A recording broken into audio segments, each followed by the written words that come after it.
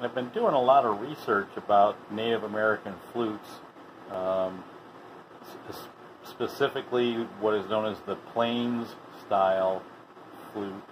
The Plains style uh, flute, like the Lakota Indians made, uh, they use a sound mechanism that is very similar to what I build.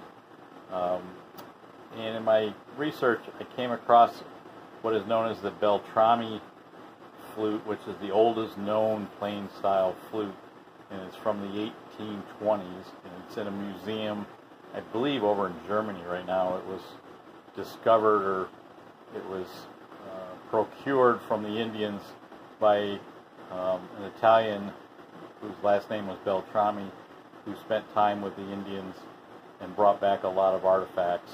Um, this is a picture of the end of it. It's a fish head and I've decided I'm going to try to do a replica of this flute just for a challenge. Here's a picture of the entire flute. Um, you can see the fish head and then the length of the flute. Uh, this one has seven holes. I'm going to build a six hole flute because I don't know what the seventh hole does or how you would even make it sound right. But I've created the uh, fish head right here, a replica of it.